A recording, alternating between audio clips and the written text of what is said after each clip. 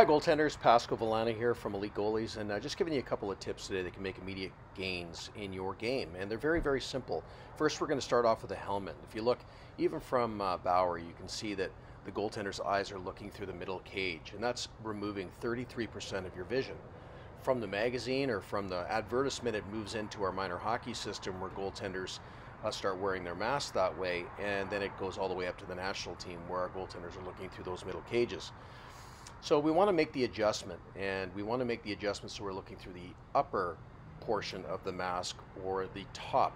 And the reason why is you're seeing, uh, instead of losing 33% uh, of your vision, you're seeing 100% of your vision. You can see that in the National Hockey League goaltender. Number two is strengthen your foundation, and we strengthen our foundation on the skates by establishing a really good balance. Now that that this picture is your full blade, and where we want to have our weight is we want to have our weight normally in the front of the skate, but most skates are cut so that we have that in the balance of our middle skate. So what we want to do is move it to the front, so on these two front posts, and allow you to be on the balls of your feet so that you can execute whatever skating movement that you need to do. Uh, you'll also notice that the blade is shaved down a little bit more in the front. Um, I use what is called a, an 11 foot radius with a one degree pitch forward.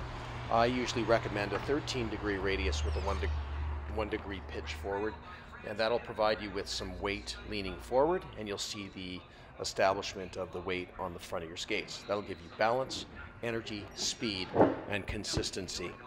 Hope you enjoy guys.